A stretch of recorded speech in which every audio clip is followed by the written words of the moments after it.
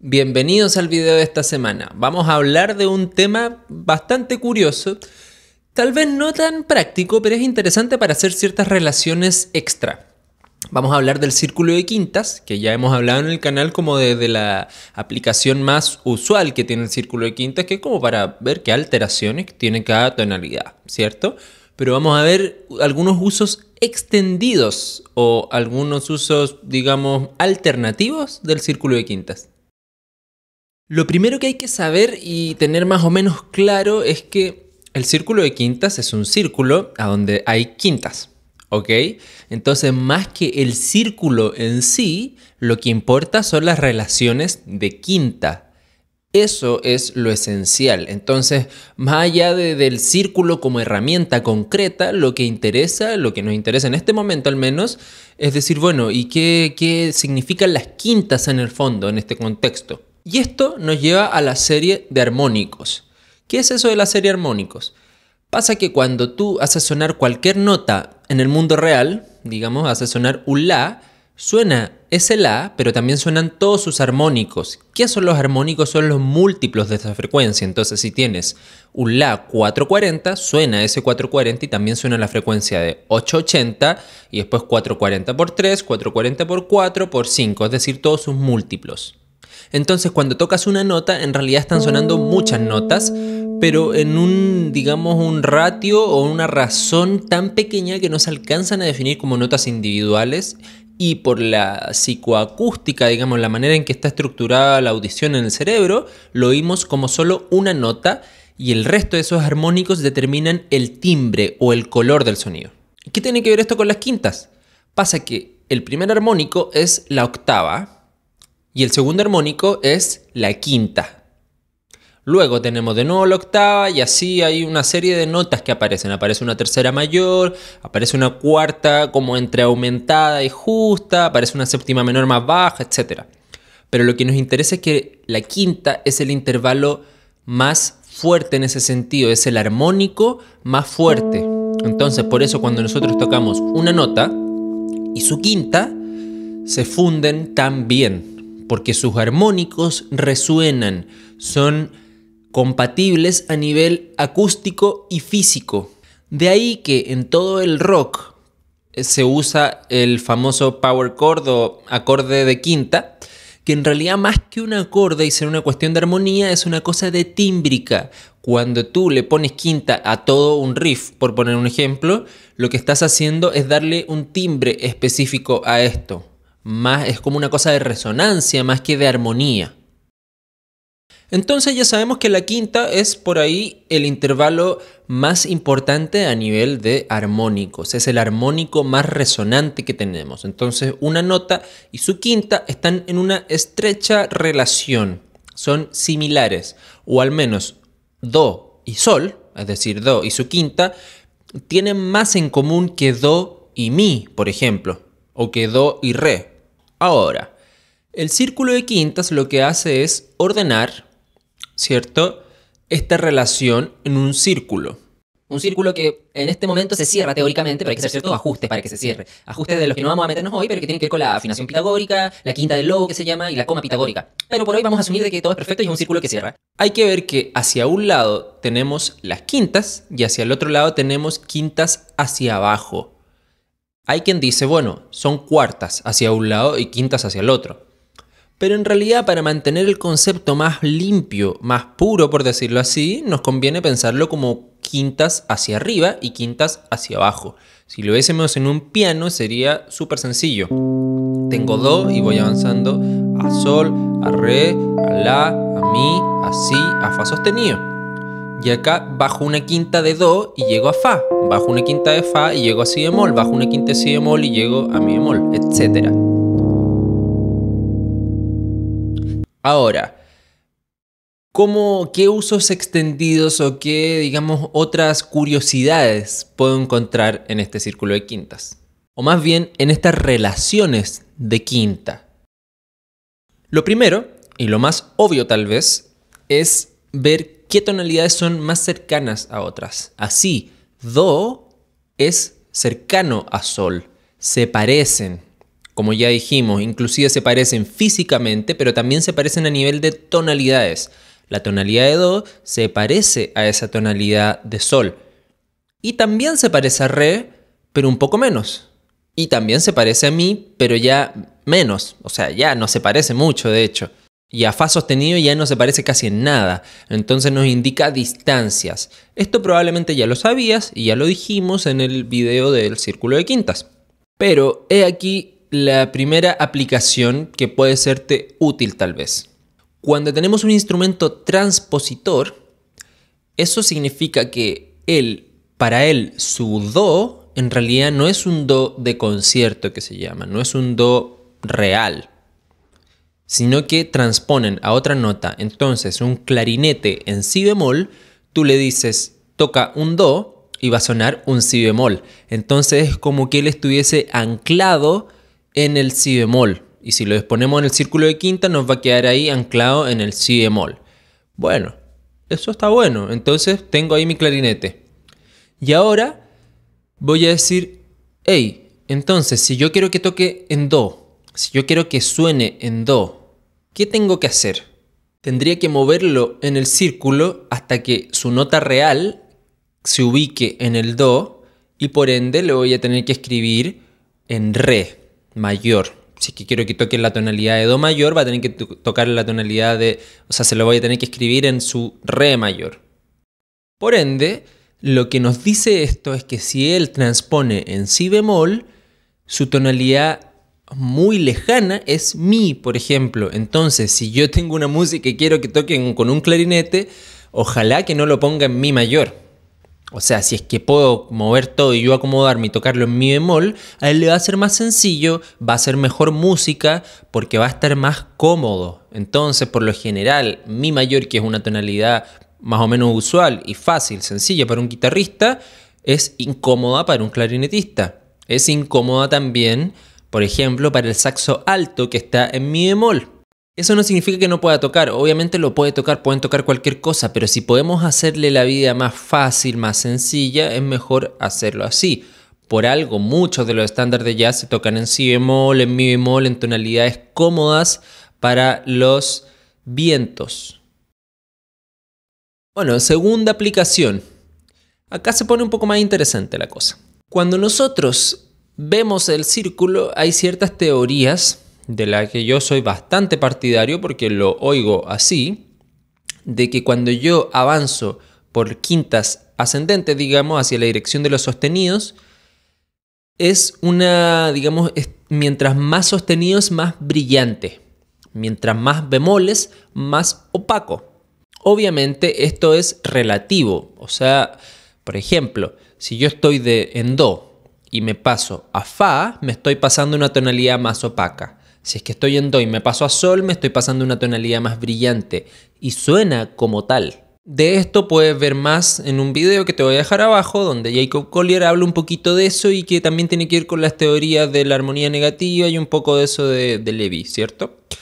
Pero básicamente podemos decir, bueno, entonces esa cadencia del quinto al primero, la cadencia de Sol a Do, como acordes, no como tonalidades, que también lo podemos ver así, no es necesario pensarlo solamente como tonalidades. ¿Por qué? Porque este círculo de quintas dijimos que nos establece o nos dibuja las relaciones.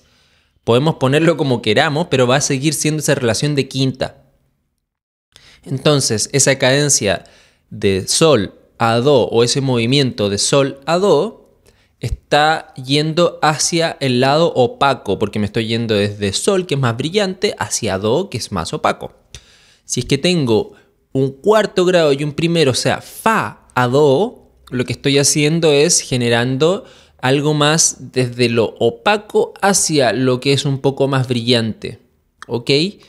Entonces, en ese sentido, puedo establecer movimientos de acordes independientes, digamos, o sea, sin pensarlo en tonalidades, pensándolo como acordes, en donde yo aproveche eso y podría decir que la cadencia plagal, cuarto primero, genera un, efecto como que se abre, más que se abre y es más abrillantador, por decirlo así, y la cadencia quinto primero es desde brillante a más opaco. Escuchemos ambas y bueno, dime tú si es que lo sientes así o no. Yo al menos lo siento así.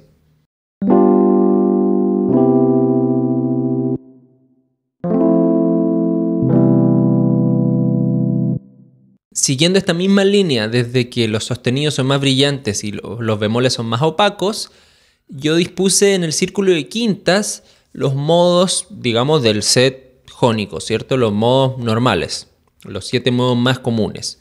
Y los dispuse desde brillante a oscuro, es decir, lidio, ¿ok?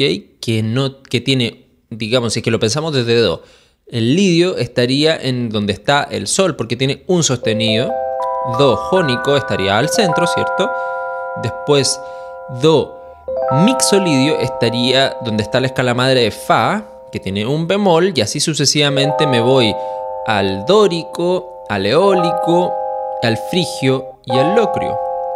Lo que nos da una visión bastante interesante de cómo puedo ordenar los modos desde el brillante al más opaco. Entonces, si yo estoy haciendo intercambios modales, puedo pensarlo así, puedo pensarlo como, bueno, si estoy en un modo eólico y pido prestado un acorde al dórico, estoy pidiendo prestado un acorde de un campo armónico que es más brillante. Y luego me vuelvo al eólico, entonces vuelvo a opacarme, que sería similar a lo que pasaba cuando estábamos haciendo esa relación de quinto a primero. O si estoy en jónico y pido prestado un acorde, hago un intercambio modal del eólico, podría decir, ah, entonces estoy pidiendo prestado un acorde de, de un modo, digamos, mucho más opaco, con bastantes bemoles, y después vuelvo a jónico y al volver estoy generando una sensación de que se abrillanta, entonces eso se parecería más a una cadencia plagal, en ese sentido, global, amplio, ¿cierto? Si quieres saber más sobre intercambio modal y armonía modal, te invito a que también te metas al link que te voy a dejar acá abajo ya que la otra semana vamos a lanzar un curso, pero que está completísimo sobre armonía modal y va a estar a precios bastante accesibles. Es un libro de 100 páginas, un curso de 8 horas, bien... No es porque lo haya hecho yo, pero creo que es algo que hasta ahora en español no he encontrado. Y la última aplicación que vamos a ver, que es también algo interesante, es que si es que nosotros vemos el círculo general que se pone casi siempre, vemos que al centro ponemos las relativas menores. O sea, además de poner esa relación de quinta, vamos a también poner esa relación de tercera que hay entre, entre una tonalidad y su relativa, ¿cierto? Que tienen relación de tercera recíproca, de tercera menor recíproca, hacia arriba y hacia abajo. Entonces podemos decir, bueno, tengo Do al centro. Su dominante es Sol, que está a un lado. Su subdominante, su cuarto grado, es Fa, que está al otro lado. Y sus relativas menores son Re menor eh, del Fa y Mi menor del Sol. Y si es que tengo la relativa menor de Do, que es La menor, entre todos ellos completé el campo armónico de Do mayor. Solamente me falta el Si semidisminuido que lo voy a dejar aparte. ¿Qué nos entrega? ¿Qué información nos entrega esto? Bueno, algo que a mí al menos me parece interesante. Que esta relación de relativas no solamente se ve a nivel de que yo tengo una tonalidad mayor y su relativa menor, sino que los acordes, en general, cada acorde mayor dentro de una tonalidad tiene también un acorde menor, una tercera por abajo. Y así podemos encontrar que yo puedo armar la tonalidad entre su primero, su cuarto y su quinto y sus relativas menores. Obviamente acá estoy hablando de acordes y no de tonalidades, entonces estoy sacando un poco de contexto esta cosa del círculo. Esto no es que me sirva, no es que sea, uy, qué útil.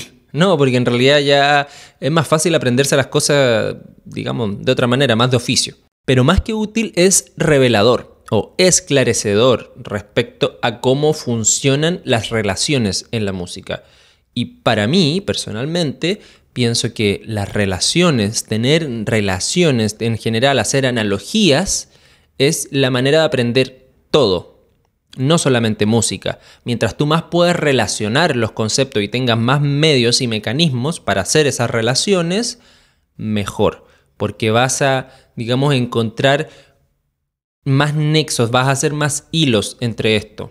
De hecho, si excavamos un poquito más allá, vamos a encontrar que si yo pienso ese Do como el Do jónico, ese Sol como el Sol mixolidio y ese Fa como Fa lidio, que serían los modos acorde o la escala acorde que le correspondería a cada grado, si lo estoy viendo como grados de Do, bueno, en ese caso también vería que sus relativas serían mi menor, que sería mi frigio, relativa de sol mixolidio, re menor, que sería re dórico, relativa de el lidio, de fa lidio, y la eólico, relativa de do jonio. Entonces podría decir que la relativa menor del mixolidio es el frigio y que la relativa menor del lidio es el dórico. Ah, y después podría irme más allá y decir, bueno, y el lidio es especial porque es un modo que aguanta todas las tensiones, ¿cierto? Aguanta novena, oncena aumentada y trecena. Y el dórico también, en contextos modales, porque aguanta novena, oncena y trecena. Ah, interesante. Bueno, si quieres saber más de eso, te invito a mirar nuestro curso de armonía modal.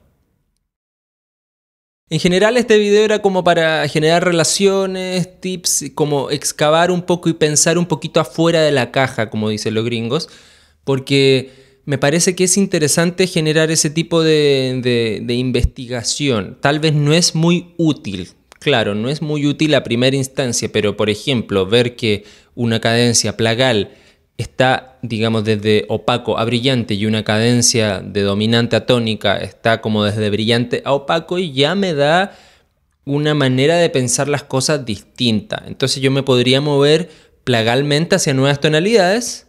Sí, lo podría hacer. Claro, tengo que establecer un sistema que me lo permita, un círculo que me lo permita. Lo demás ya lo dejo para que tú lo puedas explorar si es que tienes alguna otra información de este tipo o quieres comentar algo, te invito a que lo discutamos en los comentarios, que lo hablemos, que tratemos de explorar más relaciones, de explorar más cosas interesantes que pasan en la música. Cosas interesantes de, que vienen de la física misma al final, porque todo partió desde la quinta. Sin más, te invito a suscribirte, a revisar todos los links que van a quedar acá abajo y nos vemos en el siguiente video.